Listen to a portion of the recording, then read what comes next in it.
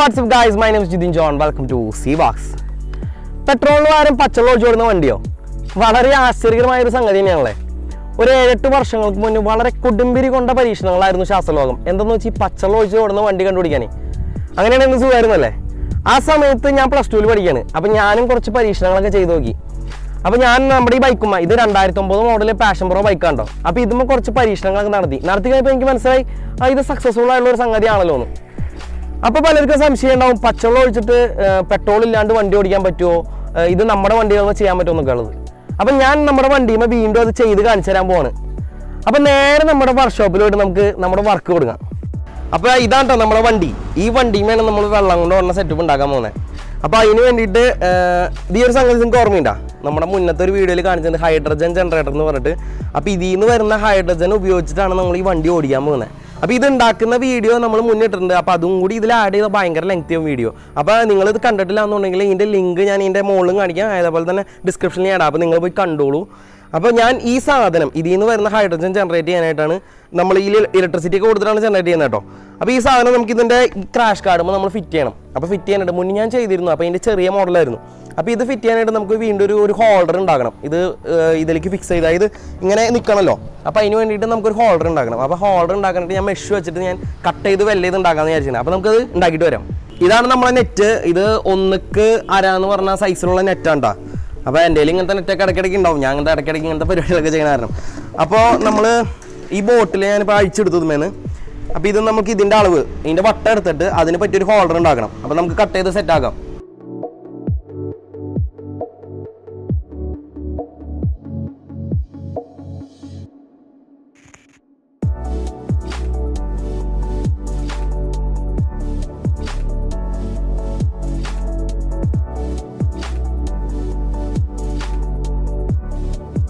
അങ്ങനെ നമ്മുടെ mesh set ചെയ്ത് ഇങ്ങനെ കട്ട് ചെയ്ത് ദീ പരുവാക്കിയിട്ടുണ്ട്. ഒരു കൂട പോലെയൊക്കെ ആയിട്ടുണ്ടല്ലേ? അപ്പോൾ ഇതിലേക്ക് നമ്മുടെ ബോട്ടിൽ കറക്റ്റായിട്ട് ഫിറ്റ് ആയിട്ട് ഇറങ്ങുന്നുണ്ട്. അപ്പോൾ ഞാൻ ഇത്തിരി ലെങ്ത്തിൽ എടുത്തല്ലോ ഇത്തിരി നീളം കൂടുതലുണ്ട്. അതെന്തിനാന്ന് വെച്ച് നമ്മൾ ഈ ക്രാഷ് കാണുമ്പോൾ കണ്ടില്ലേ? ഇത്തിരി വലിപ്പ വ്യത്യാസം ഉണ്ട് അപ്പോൾ ഈ ക്രാഷ് കാർഡുമ്പോൾ നമ്മൾ വെക്കുമ്പോൾ ഇത്തിരി ബലം കിട്ടാനായിട്ട് ഒരു കുളത്ത് പോലെ ഉണ്ടാക്കണം അപ്പോൾ ഇത്രയും സൈഡ് നമുക്ക് കട്ട് ചെയ്ത് കളഞ്ഞിട്ട് ഒരു കുളത്ത് പോലെ ആക്കാം.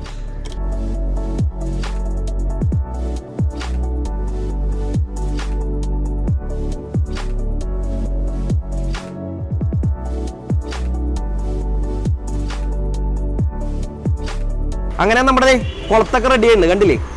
ഇതെന്തിനാ നമ്മൾ ഈ കുളത്തിട്ടാണെന്ന് വെച്ചാൽ ഇതിൽ വെള്ളമാണല്ലോ ഇരിക്കുന്നത്. അപ്പോൾ നല്ല വെയിറ്റ് ഉണ്ടാവും. അപ്പോൾ ക്രാഷ് കാർഡുമ്മ ടൈ ഇട്ടാൽ മാത്രം ചിലപ്പോൾ അത്രയും ബലം കിട്ടില്ല. ഇതിപ്പോൾ നമ്മൾ നീളത്തിലൊക്കെ ഇത്തിരി കുളത്തുണ്ടാക്കിയ കാരണം അത്യാവശ്യം നല്ല ബലം കിട്ടും. ഇതേപോലെ തന്നെ നമ്മുടെ മറ്റേ ബോട്ടിലും നമ്മൾ ഇതേപോലെ സെറ്റപ്പ് തന്നെ ഉണ്ടാക്കിയെടുക്കാം. അങ്ങനെ നമ്മുടെ രണ്ട് ഹോൾഡറും സെറ്റ് ആയിട്ടുണ്ട്. അപ്പോൾ ഇനി നമ്മുടെ വണ്ടിയുമേക്ക് ടൈ ചെയ്ത് പിടിപ്പിക്കാം. ഞാനിപ്പോൾ പിടിപ്പിക്കാൻ പോകുന്നത് എങ്ങനെയാണെന്ന് വെച്ച് കഴിഞ്ഞാൽ ഇപ്പോൾ ഈ ക്രാഷ് കാർഡും ഈ കുളത്തിട്ടിട്ട് ഇങ്ങനെ ചേർത്ത് ഇതുമ്പോൾ ടൈ ചെയ്ത് നിർത്താനാണ് പോകുന്നത് അപ്പോൾ ഞാൻ എടുത്തേക്കുന്നത് നൂറ്റമ്പത് എം എമ്മിന്റെ കേബിൾ ടൈ ആട്ടോ. അപ്പം നമുക്ക് ഇതുമ്മേക്ക് ടൈ ചെയ്ത് പിടിപ്പിക്കാം. അങ്ങനെ നമ്മുടെ ഹോൾഡർ സെറ്റ് ചെയ്തു. നല്ല ബലം ഉണ്ട് കേട്ടോ കണ്ടില്ലേ? വണ്ടി അടക്കം ഇളകും. അത് എത്രയും ബലമായിട്ടുണ്ട്. ഇനി ഇതേപോലെ തന്നെ അപ്പുറ സൈഡ് നമുക്ക് സെറ്റ് ചെയ്തെടുക്കാം അങ്ങനെ നമ്മുടെ ക്രാഷ് കാണ്ട് രണ്ട് സൈഡും ബോട്ടിൽ ഹോൾഡർ പിടിപ്പിച്ചിട്ടുണ്ട്. അപ്പോൾ ഇനി നമുക്ക് അതിലേക്ക് ബോട്ടിൽ ഇറക്കി വെച്ചിട്ട് ഇത് സെറ്റായി നോക്കാം. അങ്ങനെ നമ്മുടെ ഈ വലിയ ഹോൾഡറിൽ നമ്മുടെ ഈ വലിയ ബോട്ടിലില്ലേ അതായത് വെള്ളം ഒഴിച്ച് വയ്ക്കുന്ന ബോട്ടിൽ ആ ബോട്ടിൽ നമ്മൾ ഇറക്കി വയ്ക്കുകയാണ് ഇനി നമുക്ക് ഈ കേബിൾ ഈ പൈപ്പില്ലേ ഈ ട്യൂബ് നമ്മൾ ഇതിന്റെ ഉള്ളിൽ കൂടെ വരുന്ന സെറ്റപ്പിൽ എടുക്കുകയാണ് ഇനി നമുക്ക് ഇവിടെ വരുന്ന ഈ അടപ്പമേക്ക് നമ്മുടെ ഈ ചെറിയ ബോട്ടിൽ കണക്ട് ചെയ്ത് ഫിക്സ് ചെയ്യാം. അപ്പോൾ നമ്മൾ കണക്ട് ചെയ്തു. ഇപ്പം ഇതിന്റെ ട്യൂബിന്റെ അളവൊക്കെ വളരെ കറക്റ്റ് ആയതുകൊണ്ട് മുന്നെടുത്തേക്കുന്നത് വളരെ കറക്റ്റ് അളവാണ് അതുകൊണ്ട് നമുക്ക് ഇപ്പോൾ ട്യൂബ് കട്ട് ചെയ്ത് പുതിയ ആവശ്യം വന്നില്ല. ഇനി എന്താ ചെയ്യേണ്ടതെന്ന് വെച്ച് കഴിഞ്ഞാൽ നമുക്കിപ്പോൾ ഹൈഡ്രജൻ ജനറേറ്റ് ചെയ്യുമല്ലോ. അപ്പുറത്ത് വന്ന ജനറേറ്റ് ചെയ്ത ഹൈഡ്രജൻ ഇതിൽ വന്ന് ഫിൽട്ടർ ചെയ്ത് നമ്മുടെ ഈ ട്യൂബിൽ കൂടെ കളക്ട് ചെയ്ത് വരും. അപ്പോൾ ഈ ട്യൂബ് നമ്മുടെ ഇതിൽ നിന്ന് വരുന്ന ഹൈഡ്രജൻ നമ്മുടെ എഞ്ചിനിലേക്ക് എത്തിച്ച് കത്തിക്കണം. അതിന് വേണ്ടിയിട്ട് നമുക്ക് ഇവിടെ വണ്ടിയിൽ ചെയ്യാനുള്ളത് നമ്മളിങ്ങനെ വണ്ടിയുടെ എഞ്ചിന്റെ അവിടെ നിന്ന് വരുന്ന എയർ ഫിൽറ്റർ ഉണ്ടല്ലോ എഞ്ചിനിലേക്ക് എയർ എടുക്കുന്ന സ്ഥലം. ആ ഭാഗം നമ്മൾ അഴിച്ച് ഇത് അവിടേക്ക് കണക്ട് ചെയ്യാൻ പോവാണ്. പല വണ്ടികളുടെയും എയർ ഫിൽറ്ററുകളൊക്കെ വരുന്നത് നമ്മുടെ ഈ അതിന്റെ ഇൻലെറ്റ് വരുന്നത് നമ്മുടെ സീറ്റിന്റെ അടിയിലാണ് അപ്പോൾ ഈ വണ്ടിയുടെയും സീറ്റിന്റെ അടിയിൽ തന്നെയാണ്. അപ്പോൾ ഞാൻ നമുക്ക് താക്കോൽ വെച്ചിട്ട് അഴിച്ചെടുക്കാം. ഇവിടെയാണ് നമ്മുടെ ഇൻലെറ്റ് വരുന്നത് കേട്ടോ. ഈ എയർ ഫിൽറ്ററിന്റെ ഇൻലെറ്റ് വരുന്നത് ഇവിടെയാണ്. അപ്പം നമുക്ക് ഇതിന്റെ ട്യൂബ് ഉണ്ടല്ലോ. നമുക്ക് ഈ വരുന്ന ഔട്ട് വരുന്ന ഹൈഡ്രജൻ വരുന്ന ആ ട്യൂബ് അത് നമുക്ക് ഇത് ഈ കൂടെ എടുത്തിട്ട് ഈ കേസിന്റെ ഉള്ളിൽ കൂടെ ഇതിന്റെ ഉള്ളിലേക്ക് കടത്താം. അപ്പോൾ ഈ കേസും നമുക്കൊന്ന് ഇപ്പോൾ അഴിക്കാം. ഇത് നമ്മുടെ ബാറ്ററി ഒക്കെ ഇരിക്കുന്ന കേസാണ് കേട്ടോ അപ്പോൾ ഇത് അഴിക്കുമ്പോൾ ശ്രദ്ധിച്ചോളൂ. ഈ സ്ക്രൂ അഴിച്ച് കഴിയുമ്പോൾ ഇവിടെ കുഷ്യൻസ് പോലെ ഇത് ചെറിയ ചെറിയ ബുഷുകളൊക്കെയാണ് അപ്പോൾ ഇത് പൊട്ടാണ്ട് എടുത്തോളൂ. ഇനി നമുക്ക് ഈ ട്യൂബ് ഇതിന്റെ ഉള്ളിൽ കൂടെ ഈ ഫ്രെയിമിന്റെ ഉള്ളിൽ കൂടെ കടത്തി നമ്മുടെ ഈ എയർ ഫിൽറ്ററിന്റെ ഇല്ലറ്റിലേക്ക് കടത്തി വിടാം ബെൻഡ് വരാത്ത രീതിയിൽ കയറ്റിക്കോട്ടാ കാരണം നമുക്കിത് ഒടിഞ്ഞ് നിൽക്കരുത് അല്ലെങ്കിൽ അപ്പോൾ ഹൈഡ്രജൻ അവിടെ സ്റ്റക്കാവും അങ്ങനത്തെ ഒരു സിറ്റുവേഷൻ വരുത്തരുത്. നമ്മളിവിടെ പതുക്കെ നൈസായിട്ട് ഇതിൽ കൂടെ കടത്തിയിട്ട് അപ്പോൾ ഞാൻ ബാറ്ററിയുടെ ടോപ്പിൽ കൂടി എടുക്കുന്നത് എന്നിട്ട് നമുക്ക് ഫ്രെയിമിന്റെ ആ എയർ ഫിൽറ്ററിന്റെ ഇൻലെറ്റ് വരുന്ന ആ ഫ്രെയിമിന്റെ ഭാഗത്തേക്ക് നമുക്ക് കടത്തിയെടുക്കാം. കണ്ടില്ലേ? നമ്മളിപ്പോൾ കടത്തിയെടുത്തു. ഇനി നമുക്ക് ഫിൽറ്ററിക്ക് വയ്ക്കാം നമ്മുടെ എയർ ഫിൽറ്ററിന്റെ ഇൻലെറ്റ് വരുന്നത് പാഷൻ പ്രോയുടെ ഇങ്ങനെയാണ്. മിക്കതിന്റെയും ഇങ്ങനെ തന്നെയാണ് എയർ ഫിൽറ്ററിന്റെ ഇൻലെറ്റ് വരുന്നത് സീറ്റിന്റെ അടിയിൽ അപ്പോൾ ഇതിലേക്ക് നമുക്കിത് പതുക്കെ കടത്തി വയ്ക്കാം അപ്പോഴും ഈ പൈപ്പ് ബെൻഡാവാത്ത രീതിയിൽ വെച്ചോളൂ കേട്ടോ കാരണം പൈപ്പ് ഒരു സ്ഥലത്തും ബെൻഡ് വരരുത്. അതേപോലെ തന്നെ അവിടെ ഹൈഡ്രജൻ ബ്ലോക്ക് ആവുന്ന ഒരു സിറ്റുവേഷൻ ഉണ്ടാകരുത്. ഇപ്പം നമ്മൾ കടത്തി വെച്ചു. നമ്മൾ ശരിക്കും എയർ ഫിൽറ്ററിന്റെ അപ്പുറത്തെ സൈഡിൽ നമുക്ക് ഹോളൊക്കെ തുളച്ച് വെക്കാൻ പറ്റും. പക്ഷെ അങ്ങനെയൊന്നും വെക്കേണ്ട ആവശ്യമില്ല. നമുക്കിപ്പോൾ ഇങ്ങനെ വെച്ചാലും മതി. നമ്മുടെ ഹൈഡ്രജൻ ജനറേറ്റർ വർക്ക് ചെയ്യാനുള്ള പവർ കൊടുക്കലാണ് നമ്മുടെ അടുത്ത ഒരു പരിപാടി. അത് നമ്മൾ ബാറ്ററിയിൽ നിന്നാണ് പവർ എടുക്കണേ അപ്പോൾ അതിനായിട്ട് ഞാനിപ്പോൾ ഒരു സ്വിച്ച് എടുത്തിട്ടുണ്ട്. ഇത് ഓൺ ആക്കാൻ വേണ്ടിയിട്ട്. പിന്നെ ഒരു സ്ലീവ് എടുത്തിട്ടുണ്ട്. പിന്നെ കുറച്ച് വയർ എടുത്തിട്ടുണ്ട്. അപ്പോൾ ഇതിലെന്ന് പറഞ്ഞാൽ ഈ സ്വിച്ച് എന്ന് പറഞ്ഞാൽ ഇതിൽ തന്നെ ഇന്റേണൽ ഫ്യൂസ് ഉള്ള ടൈപ്പാണ് ഇന്റേണൽ ഫ്യൂസ് ഇല്ലാത്ത സ്വിച്ചുകളാണെന്ന് വെച്ച് കഴിഞ്ഞാൽ നമ്മൾ ബാറ്ററിക്ക് കണക്ഷൻ കൊടുക്കുമ്പോൾ എപ്പോഴും നമ്മൾ ഒരു ഫ്യൂസ് വെക്കുക. എന്താണെന്ന് വെച്ചാൽ ഫ്യൂസ് വെച്ചാലാണ് ഒരു പ്രൊട്ടക്ഷൻ നമുക്ക് കിട്ടുക. അപ്പോൾ നമ്മുടെ വണ്ടികൾ കണ്ടല്ലോ ഓരോ സെക്ഷനിലേക്ക് ഓരോ ഫ്യൂസുകളായിട്ട് തിരിയുന്നത് അതേപോലെ ഈ ഒരു ഹൈഡ്രജൻ ജനറേറ്ററിൽ ഉണ്ടാക്കുമ്പോൾ അതിന് നമ്മളൊരു ഫ്യൂസ് വെക്കുന്നത് എപ്പോഴും നല്ലതാണ്. ഇപ്പോൾ ഇതിൽ ഇന്റേണലി ഒരു ഫ്യൂസ് ഉള്ള കാരണം ഞാൻ വേറൊരു ഫ്യൂസ് ഉപയോഗിക്കാത്ത കേട്ടോ. അപ്പോൾ നേരെ നമുക്ക് കണക്ഷൻസ് സ്റ്റാർട്ട് ചെയ്യാം. അപ്പോൾ സ്വിച്ച് നമ്മൾ വെക്കുന്നത് ഹാൻഡിൽ മീണ് അപ്പോൾ ഞാൻ അവിടെ വരെ എത്താവുന്ന രീതിയിൽ ഒരു ഒരു മീറ്റർ ലെങ്ത്തിൽ വയർ എടുത്തിട്ടുണ്ട്. അപ്പോൾ നമ്മുടെ ബൈക്കിന് ഏതാണെന്ന് വെച്ചാൽ അത്ര ലെങ്ത്തിൽ വയർ എടുക്കാം. അപ്പോൾ ഇതിലേക്ക് കണക്ട് ചെയ്യാനായിട്ട് ഞാനിപ്പോൾ റിംഗ് സോക്കറ്റ് എടുത്തേക്കുന്നത് ഈ വയർ കണക്ട് ചെയ്യണമല്ലോ. അപ്പോൾ റിംഗ് സോക്കറ്റ് ത്രീ എം എമ്മിന്റെ എടുത്തേക്കുന്നത് പല ബാറ്ററികളും പല രീതിയിലാണ് കേട്ടോ അപ്പോൾ ഇത് ഈ ബാറ്ററിക്ക് ത്രീ എം എമ്മിന്റെ മതി. അപ്പോൾ ഇത് നമുക്കൊന്ന് പിടിപ്പിക്കാം അതുമേക്ക്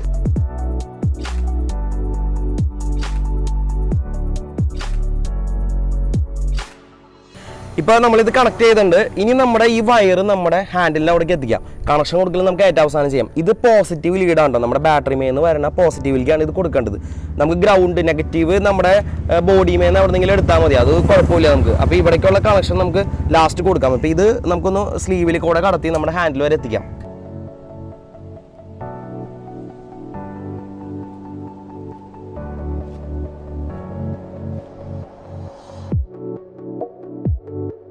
നമ്മുടെ സ്ലീവി കോടെ കടത്തിയ വയർ നമ്മൾ ഹാൻഡിൽ ബാർ വരെ എത്തിച്ചിട്ടുണ്ട് അപ്പോൾ ഞാൻ ആക്സിലേറ്ററിന്റെ സൈഡിലാണ് ഈ സ്വിച്ച് കണക്ട് ചെയ്യുന്നത്. അപ്പോൾ നമുക്ക് സ്വിച്ച് ഒന്ന് ഫിക്സ് ചെയ്യാം ഇവിടെ.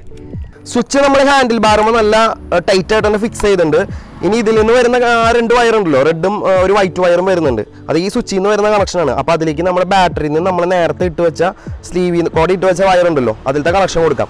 അപ്പോൾ ഞാൻ ഈ റെഡ് ഈ ബ്ലാക്കിലേക്ക് അല്ല റെഡ് ഈ ബ്ലൂവിലേക്കാണ് കണക്ഷൻ കൊടുക്കുന്നത് ഈ ബ്ലൂ എന്ന് പറഞ്ഞാൽ നമ്മുടെ ബാറ്ററിയിൽ നിന്ന് വരുന്ന വയറാണ് കേട്ടോ നമുക്ക് ഏത് കളർ വേണമെങ്കിൽ എടുക്കാം. അതൊക്കെ ഒന്ന് ഓർമ്മ ഉണ്ടായാൽ മതി. നമ്മൾ എടുക്കുന്ന കളർ ഏതാണെന്നുള്ള ഓർമ്മ ഉണ്ടായാൽ മതി. ഇൻസുലേഷൻ ടൈപ്പ് നല്ല രീതിയിൽ തന്നെ ചുറ്റിക്കോളൂ കേട്ടോ. കാരണം ബോഡിയായിട്ട് കോണ്ടാക്ട് വരാത്ത രീതിയിൽ നല്ല ടൈറ്റ് ആയിട്ട് തന്നെ ഇൻസുലേഷൻ ചെയ്തോളൂ. നമ്മളപ്പോൾ ഇതിൽ ഇൻസുലേഷൻ ടൈപ്പ് അടിച്ചു കഴിഞ്ഞു. ഇനി ഈ സ്വിച്ചിൽ നിന്ന് വരുന്ന ഒരു വൈറ്റ് വയർ കണ്ടില്ലേ? ഈ വയർ നമ്മുടെ ഹൈഡ്രജൻ ജനറേറ്ററിന്റെ മെയിൻ സെക്ഷൻ ഉണ്ടല്ലോ. അവിടേക്ക് നമുക്കൊരു വയറും കൂടി കൊടുത്ത് ഇതിലേക്ക് കണക്ട് ചെയ്യാം. അപ്പോൾ നേരെ നമുക്ക് നേരത്തെ ചെയ്ത പോലെ തന്നെ സ്ലീവിൽ കൂടെ വയർ കടത്തി ഹൈഡ്രജൻ ജനറേറ്ററിന്റെ അടുത്തേക്ക് ഒരു വയർ ഇടാം. അങ്ങനെ ഹൈഡ്രജൻ ജനറേറ്ററിന്റെ സൈഡിലേക്ക് നമ്മൾ സ്വിച്ചിൽ നിന്ന് വരുന്ന വയർ എത്തിച്ചിട്ടുണ്ട്. അപ്പോൾ ഇനി നമ്മുടെ ഈ രണ്ട് കണക്ടർ ഉണ്ടല്ലോ. അതിൽ ഏതെങ്കിലും ഒരെണ്ണത്തിലേക്ക് നമ്മൾ ഇത് കണക്ഷൻ കൊടുക്കണം. അപ്പോൾ ഇവിടെ ഞാൻ ഉപയോഗിക്കുന്നത് റിംഗ് സോക്കറ്റ് തന്നെയാണ്. അപ്പോൾ ഈ റിംഗ് സോക്കറ്റിലേക്ക് നമ്മുടെ ഈ വയർ കണക്ട് ചെയ്യാം. നേരത്തെ ചെയ്ത പോലെ. ഇനി ഈ കണക്ടർ നമ്മൾ ഇതിലേക്ക് ഒരു നട്ടിട്ടിട്ട് ടൈറ്റ് ചെയ്ത് ഫിക്സ് ചെയ്യാം. അങ്ങനെ ഇത് നമ്മൾ കണക്ട് ചെയ്തു. പോസിറ്റീവ് സൈഡ് നമ്മൾ കണക്ട് ചെയ്തു. ഇനി നമ്മുടെ ഈ ഹൈഡ്രജൻ ജനറേറ്ററിന്റെ നെഗറ്റീവ് സൈഡാണ് നെഗറ്റീവ് സൈഡ് നമ്മൾ കണക്ട് ചെയ്യുന്നത് ബോഡിമേക്കാണ് അപ്പോൾ ഇതുപോലെ തന്നെ ഒരു റിംഗ് സോക്കറ്റ് ഇട്ടിട്ട് നമുക്ക് ടൈറ്റ് ചെയ്തിട്ട് അത് ബോഡിമേക്ക് കണക്ട് ചെയ്യും. അപ്പോൾ സ്വിച്ച് ഓൺ ചെയ്യുമ്പോൾ നമുക്ക് ഇവിടെ പോസിറ്റീവ് വന്നു. നെഗറ്റീവ് ഓൾറെഡി ഇവിടെ വന്നിട്ടുണ്ട്. അങ്ങനെ ഹൈഡ്രജൻ ജനറേറ്ററിന്റെ കണക്ഷൻസ് ഒക്കെ കംപ്ലീറ്റ് ആയി. ഇനി ഫൈനലായിട്ട് നമുക്ക് ഈ ബാറ്ററിയിലേക്ക് കണക്ഷൻ കൊടുക്കണം. നമ്മുടെ സ്വിച്ചിന്റെ അവിടേക്ക് പോകുന്ന വയറേ നേരത്തെ നമ്മൾ വയർ ചെയ്തിട്ടില്ലേ? അപ്പോൾ ഇതിവിടെ നമ്മുടെ ഈ പോസിറ്റീവ് ടെർമിനലിൽ കണക്ട് ചെയ്യാം. വെറുതെ വയർ കൂട്ടിപ്പിരിച്ച് വെച്ചാൽ ചിലപ്പോൾ ശരിയാവില്ല. പ്രോപ്പറായിട്ടുള്ള കണക്ഷൻ കിട്ടണമെങ്കിൽ നമ്മൾ റിംഗ് സോക്കറ്റ് ഇടുക തന്നെ വേണം. അങ്ങനെ നമ്മുടെ ഇലക്ട്രിക്കൽ കണക്ഷൻസ് ഒക്കെ കഴിഞ്ഞു. നമ്മൾ ഇവിടെ കാണിച്ചത് വളരെ സിമ്പിൾ ആയിട്ടുള്ള കണക്ഷൻ ആട്ടോ പിന്നെ ഒരു കാര്യം ശ്രദ്ധിക്കണം. നമ്മളെപ്പോഴും ഫ്യൂസ് ഇടണം. നമ്മളിപ്പോൾ സ്വിച്ചിൽ ഇന്റേണൽ ഫ്യൂസ് ഉള്ളതുകൊണ്ടാണ് നമ്മൾ ഫ്യൂസ് ഇടാത്തത് നമ്മൾ ഇതിൽ വരുന്ന ഫ്യൂസ് വൺ ആംബിയർ മതി നമുക്ക്. അതിൽ കൂടിയ റേഞ്ച് ഒന്നും വേണ്ട. നമുക്ക് മാക്സിമം വൺ ആംബിയർ മതി. കാരണം നമ്മുടെ ഇവിടെ നടക്കുന്നത് ഒരു സ്ലോ റിയാക്ഷൻ ആണ്. അതുകൊണ്ട് വൺ ആംബിയറിൽ താഴെയാണ് കറണ്ട് ഡ്രോ ചെയ്യുള്ളൂ. അതുകൊണ്ട് ഈ നമ്മുടെ ഈ വണ്ടി എന്ന് പറഞ്ഞു കഴിഞ്ഞാൽ സെൽഫ് ഇല്ലാത്ത വണ്ടിയാണ്. കിക്കർ സ്റ്റാർട്ട് കിക്കർ സ്റ്റാർട്ടാണ് വണ്ടി വരുന്നത് അപ്പോൾ അതുകൊണ്ട് നമുക്ക് ചെറിയ ആംബിയർ എടുക്കുന്നുള്ളൂ. അതുകൊണ്ട് തന്നെ ഈ ബാറ്ററി പെട്ടെന്ന് താഴത്തേക്ക് പോകാനുള്ള ചാൻസ് ഇല്ല. നമ്മളിപ്പോൾ സെൽഫ് സ്റ്റാർട്ട് വണ്ടികളാണെങ്കിൽ നമ്മളൊരു കാര്യം ശ്രദ്ധിക്കണം. സെപ്പറേറ്റ് ഒരു ബാറ്ററി വെക്കുകയാണെങ്കിൽ ഇത്രയും കൂടി ബെസ്റ്റ് ആയിരിക്കും. പിന്നെ വണ്ടി സ്റ്റാർട്ട് ആവുമ്പോഴാണ്. ഇത് നമ്മൾ കീ ടോൺ ചെയ്ത് കഴിയുമ്പോഴാണ് വണ്ടി ഈ നമ്മുടെ ഈ ഹൈഡ്രജൻ ജനറേറ്റ് ചെയ്യേണ്ട സെറ്റപ്പ് ഒക്കെ റെഡി ആവേണ്ടതെന്ന് വെച്ച് കഴിഞ്ഞാൽ നമ്മളൊരു റിലേ വെച്ചിട്ടോ അല്ലെങ്കിൽ കീം എന്നുള്ള സ്റ്റാർട്ടോ അങ്ങനത്തെ ഒരു രീതിയൊക്കെ നമുക്ക് ഇംപ്ലിമെന്റ് ചെയ്യാട്ടോ നമ്മളിവിടെ ഏറ്റവും സിമ്പിളായിട്ട് ചെയ്യാവുന്ന രീതിയാണ്. വെറുതെ ഒരു സ്വിച്ച് കൊടുത്തിട്ട് ബാറ്ററി എന്നുള്ള ഒരു കണക്ഷൻ അങ്ങനെ രീതിയിലാണ് നമുക്ക് ചെയ്തേക്കുന്നത് ഇനി നമുക്കിത് ക്ലോസ് ചെയ്യാം. അടുത്തത് നമ്മൾ നമ്മുടെ മെയിൻ സെക്ഷനിലേക്ക് കിടക്കാണ്. അതായത് വെള്ളം ഒഴിച്ചിട്ട് നമ്മുടെ വണ്ടി വെള്ളത്തിന്റെ സഹായത്തോടു കൂടി റൺ ചെയ്യുന്ന സിസ്റ്റത്തിലേക്ക് ആക്കാൻ പോകണം നമ്മുടെ ഈ ഹൈഡ്രജൻ ജനറേറ്ററിന്റെ മെയിൻ സെറ്റപ്പ് എന്ന് പറയുന്നത് ഈ ബോട്ടിലാട്ടോ. ഈ ബോട്ടിലാണ് ഹൈഡ്രജന്റെ ഇലക്ട്രോളിസിസ് അതായത് ഹൈഡ്രജൻ ജനറേറ്റ് ചെയ്യാനായിട്ട് വെള്ളത്തിന്റെ ഇലക്ട്രോളിസിസ് ഒക്കെ നടക്കുന്നത്. അപ്പോൾ ഇതിൽ നമുക്ക് വെള്ളം നിറയ്ക്കണം. വെള്ളം എന്ന് പറഞ്ഞാൽ സാധാരണ ടാപ്പ് വെള്ളം നിറച്ചാൽ മതി. മിനറൽ വാട്ടർ ഒന്നും നിറയ്ക്കേണ്ട ആവശ്യമില്ല കേട്ടോ എന്നിട്ട് നമ്മൾ ഇതിൽ കുറച്ച് ഉപ്പിടാണ് അതൊരു കാറ്റലിസ്റ്റ് ആയിട്ട് ആക്ട് ചെയ്യാനാണ്.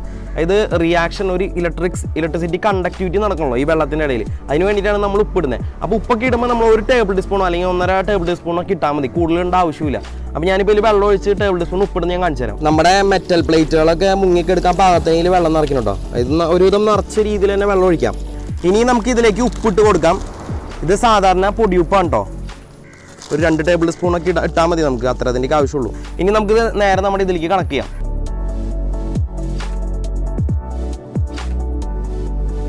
ഈ ബോട്ടിൽ നമ്മൾ വെള്ളം നിറയ്ക്കണം. അപ്പോൾ ഈ ബോട്ടിൽ വെള്ളം നിറയ്ക്കുന്നത് നേരത്തെ അത്ര നിറച്ച പോലെ ഫുള്ളായിട്ട് നിറയ്ക്കേണ്ട. ഒരു മുക്കാൽ ഭാഗത്തോളത്തിന് താഴേക്ക് നിറച്ചാൽ മതി. ഇത് എന്തിനാന്ന് വെച്ച് കഴിഞ്ഞാൽ ഈ ബോട്ടിൽ എന്തിനാന്ന് വെച്ച് കഴിഞ്ഞാൽ അവിടെ ജനറേറ്റ് ചെയ്യുന്ന ഹൈഡ്രജൻ ഇതിൽ വന്നിട്ട് ബബിൾ ചെയ്ത് പുറത്തേക്ക് വരും. അപ്പോൾ എന്താ വെച്ചാൽ ഒരു അതും ഇതും തമ്മിൽ വലിയ കണക്ഷൻ ഇല്ല. അപ്പോൾ അവിടെ ഹൈഡ്രജൻ ബ്ലോക്ക് ആവില്ല. ഇവിടെ ഹൈഡ്രജൻ ബ്ലോക്ക് ആയി കഴിഞ്ഞാൽ വലിയ ബ്ലാസ്റ്റിങ് കാര്യങ്ങളൊന്നും ഉണ്ടാവില്ല. അതിന് വേണ്ടിയിട്ടാണ് നമ്മൾ ഈ സെറ്റപ്പ് ഉപയോഗിക്കുന്നത്. പിന്നെ വേറൊരു കാര്യം കൂടി ഉണ്ട്. ഇത് നമ്മൾക്ക് അവിടെ നിന്ന് ഡയറക്റ്റ് വരുന്ന ഹൈഡ്രജനിൽ ചിലപ്പോൾ വാട്ടർ വേപ്പർ ഉണ്ടാവാനുള്ള ചാൻസ് ഉണ്ട്. അത് നേരെ നമ്മുടെ ഫിൽറ്ററിലേക്ക് ഇറങ്ങി പോകാണ്ടിരിക്കാനും ഇങ്ങനെ ഒരു സെറ്റപ്പ് ഉപകാരമുണ്ട്. അപ്പോൾ ഇതിൽ നമുക്ക് വെള്ളം നിറയ്ക്കാം. അങ്ങനെ വെള്ളത്തിൽ ഓടാനുള്ള നമ്മുടെ വണ്ടിയുടെ സെറ്റപ്പ് ഒക്കെ ഏകദേശം കഴിഞ്ഞു. ഏകദേശം അല്ല മുഴുവനായിട്ട് തന്നെ കഴിഞ്ഞു. അപ്പോൾ വണ്ടി സ്റ്റാർട്ട് ചെയ്തിട്ട് വേണം ഈ സ്വിച്ച് ഓൺ ചെയ്യാൻ. അപ്പോൾ നിങ്ങൾക്ക് ഇതിൽ ഹൈഡ്രജൻ ജനറേറ്റ് ചെയ്യുന്നതും ഇത് അപ്പുറത്തെ ബോട്ടിൽ പോയിട്ട് അവിടെ നിന്ന് ബബിൾ ചെയ്യുന്നതൊക്കെ ഞാൻ ഇപ്പോൾ നിങ്ങൾക്ക് കാണിച്ചു തരാം. അങ്ങനെ നമ്മൾ വണ്ടി സ്റ്റാർട്ട് ചെയ്തു. ഇനി നമ്മൾ നമ്മുടെ ഹൈഡ്രജൻ ജനറേറ്റർ ഓൺ ചെയ്യാൻ പോവാണ്. അപ്പോൾ നിങ്ങൾക്ക് ഇവിടെ കാണാൻ പറ്റും ഹൈഡ്രജൻ ജനറേറ്റർ ഇന്ന് ഞാൻ ഇപ്പോൾ ഓൺ ചെയ്തു. കണ്ടില്ലേ? ഇലക്ട്രോളിസിസ് നടന്നുകൊണ്ടിരിക്കുകയാണ് ഇവിടെ. ഹൈഡ്രജൻ ജനറേറ്റ് ചെയ്ത് തുടങ്ങി. ഇതാണ് നമ്മുടെ അപ്പുറത്തെ ഈ ട്യൂബിൽ കൂടെ പോയിട്ട് അപ്പുറത്തെ ഇതിലേക്ക് എത്തുന്നത് നോക്കിയപ്പോൾ ഇവിടെ ബബിൾസ് വരാമെന്ന് കാണാൻ പറ്റും. കണ്ടില്ലേ? ഹൈഡ്രജൻ ഇവിടെ ജനറേറ്റ് ചെയ്ത് ബബിൾസ് വരുന്നത്. ഇതാണ് നമ്മുടെ ഫിൽറ്ററിലേക്ക് പോകുന്നത് എയർ ഫിൽറ്ററിലേക്ക് പോകുന്നത്. എന്നിട്ടാണ് അവിടെ ഹൈഡ്രജനും ഓക്സിജനും ഫ്യൂവലും കൂടി മിക്സ് ചെയ്തിട്ടാണ് കത്തുന്നത് അപ്പോഴാണ് നമുക്ക് മൈലേജ് ഭയങ്കരമായിട്ട് മാറ്റം വരുന്നത്. മുപ്പത് ശതമാനത്തോളം മാക്സിമം ഇൻക്രീസ് നമുക്ക് വരും.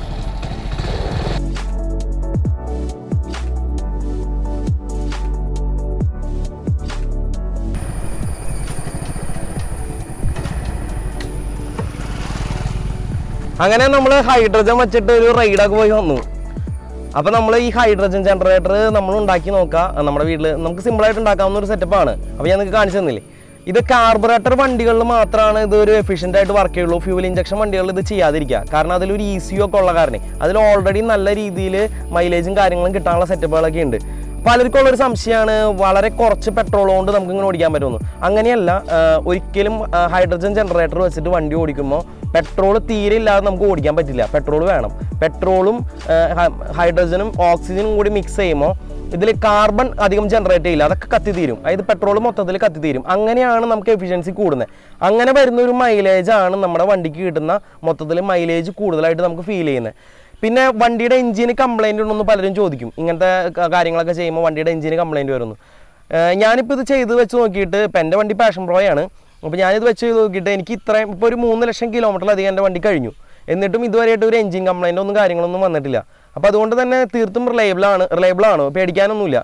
പിന്നെ വേറൊരു കാര്യം കൂടി ചിന്തിച്ചു കഴിഞ്ഞാൽ നമ്മുടെ വണ്ടിയുടെ എഞ്ചിന്റെ ഡീകാർബണൈസേഷൻ എന്ന് പറഞ്ഞൊരു മെത്തേഡ് ചെയ്യുന്നുണ്ട്. അതിന് വേണ്ടി ഉപയോഗിക്കുന്നത് ഈ ഹൈഡ്രജൻ വെച്ചിട്ടാണ് നമ്മൾ ഡീകാർബണൈസേഷൻ ചെയ്യുന്നത്. അങ്ങനെ ചിന്തിച്ചു കഴിഞ്ഞ് കഴിഞ്ഞാലും നമുക്ക് ഇത് യാതൊരു വിധത്തിൽ കംപ്ലൈന്റ് വരുന്ന ഒരു സെറ്റപ്പ് അല്ല. അപ്പോൾ നമ്മുടെ ഇന്നത്തെ ഹൈഡ്രജൻ വെച്ചിട്ട് വണ്ടിയുടെ മൈലേജ് കൂടുന്ന വീഡിയോ എങ്ങനെയുണ്ടെന്നുള്ള അഭിപ്രായങ്ങളൊക്കെ നിങ്ങൾ താഴ്ത്ത് എഴുതാം. പിന്നെ അതേപോലെ നിങ്ങളുടെ വണ്ടി ഏതാണെന്നുള്ള കാര്യങ്ങളും നിങ്ങളുടെ വണ്ടിയിൽ ചെയ്യാൻ പറ്റുന്നുള്ള കാര്യങ്ങൾ അറിയാണ്ട് നിങ്ങളത് സംശയങ്ങളും കാര്യങ്ങളുണ്ടെങ്കിൽ കമന്റ് ചെയ്യുക. അപ്പോൾ ഞാൻ പറ്റാവുന്നൊക്കെ മാക്സിമം റിപ്ലൈ ചെയ്ത് തരുന്നതായിരിക്കും. അപ്പോൾ നിങ്ങൾ ഇതുവരെയും നമ്മുടെ ഈ ചാനൽ സബ്സ്ക്രൈബ് ചെയ്തില്ലെങ്കിൽ സബ്സ്ക്രൈബ് ചെയ്തോളൂ. കാരണം നിങ്ങളുടെ ഒരു സപ്പോർട്ട് നമുക്ക് വളരെയധികം അത്യാവശ്യമാണ്. അപ്പോൾ നമ്മൾ അടുത്തൊരു കിടലം കണ്ടന്റായിട്ട് നമ്മൾ വീണ്ടും വരുന്നതായിരിക്കും. അതുവരേക്കും ബൈ